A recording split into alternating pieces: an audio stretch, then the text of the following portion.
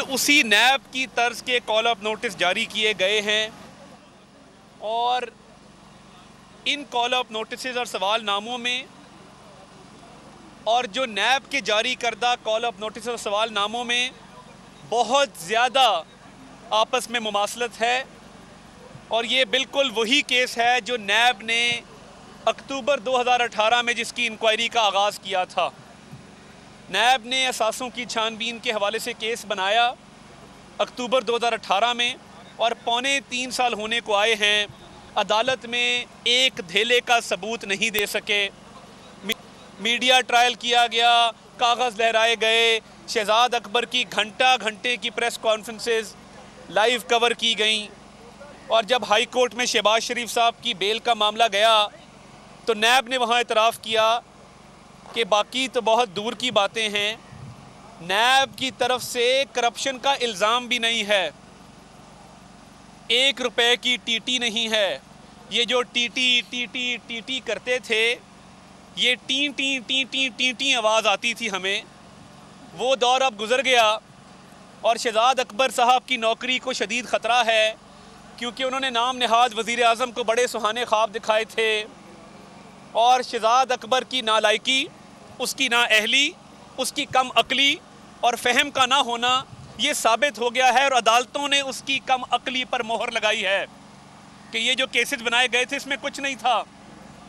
अब जब नज़र आया कि नैब के केसेस के अंदर ना कुछ निकलना था, ना कुछ निकला है, अदालतों में सबूत है नहीं तो अपनी नौकरी बचाने के लिए शहजाद अकबर साहब ने एक ऐसे केस में कॉल अप नोटिस जारी करवाया है जिसकी एफआईआर नवंबर में दर्ज की गई।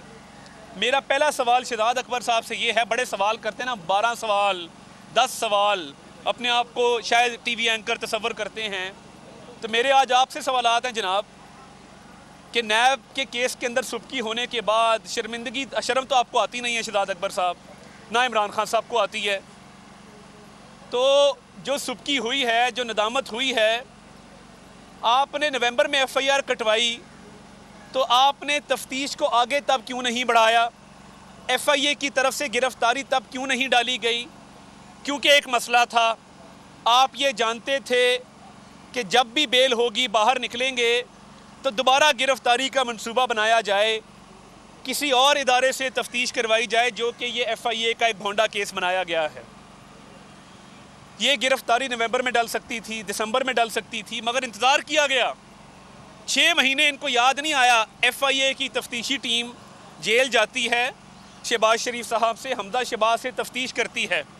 और छः महीने बाद कॉल अप नोटिस आता है कि जनाब आपने जो जवाब दिए थे, वो गैर तसली बख्श थे।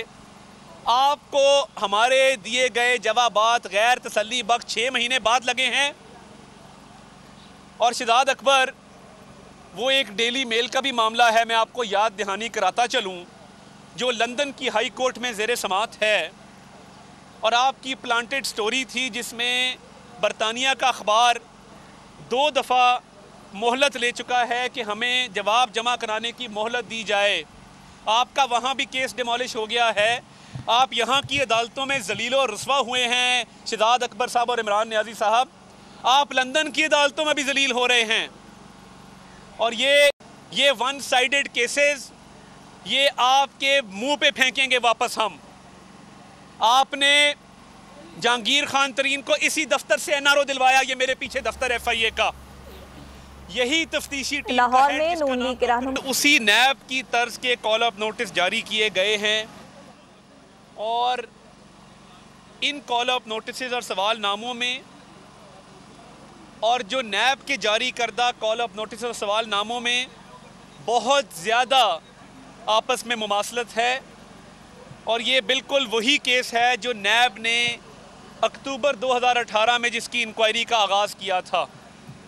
नैब ने असासों की छानबीन के हवाले से केस बनाया अक्टूबर 2018 में और पौने तीन साल होने को आए हैं, अदालत में एक धेले का सबूत नहीं दे सके।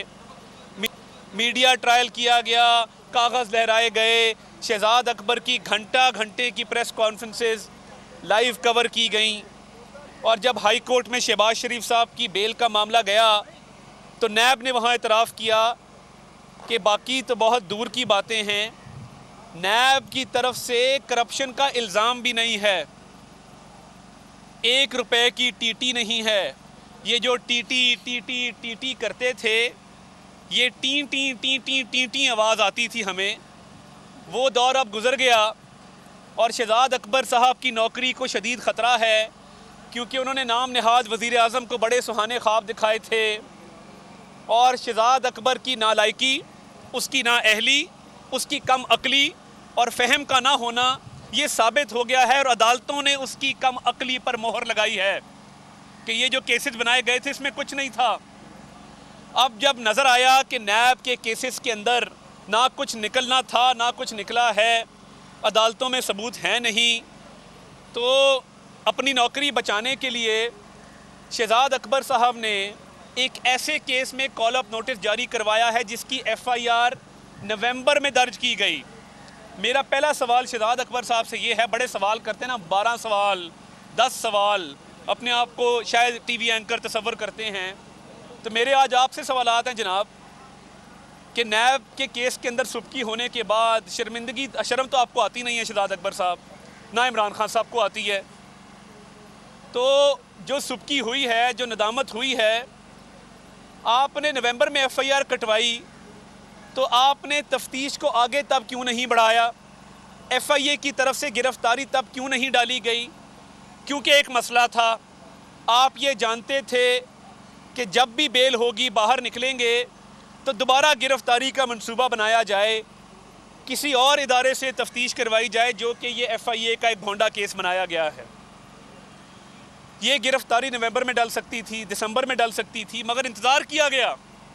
छः महीने इनको याद नहीं आया एफ़ आई ए की तफ्तीशी टीम जेल जाती है। शहबाज शरीफ साहब से हमदा शहबाज से तफ्तीश करती है। और छः महीने बाद कॉल अप नोटिस आता है कि जनाब आपने जो जवाब दिए थे, वो गैर तसली बख्श थे। आपको हमारे दिए गए जवाब गैर तसली बख्श छः महीने बाद लगे हैं। और शिदाद अकबर, वो एक डेली मेल का भी मामला है, मैं आपको याद दहानी कराता चलूँ, जो लंदन की हाई कोर्ट में जेर समात है। और आपकी प्लांटेड स्टोरी थी जिसमें बरतानिया का अखबार दो दफ़ा मोहलत ले चुका है कि हमें जवाब जमा कराने की मोहलत दी जाए। आपका वहाँ भी केस डिमोलिश हो गया है। आप यहाँ की अदालतों में जलील रसवा हुए हैं, शिदाद अकबर साहब और इमरान न्याजी साहब। आप लंदन की अदालतों में भी जलील हो रहे हैं। और ये ये वन साइडेड केसेस ये आपके मुँह पे फेंकेंगे वापस हम। आपने जहांगीर खान तरीन को इसी दफ्तर से एनआरओ दिलवाया, ये मेरे पीछे दफ्तर एफ़ आई ए का। यही तफ्तीशी लाहौर में नून लीग के रहनुमा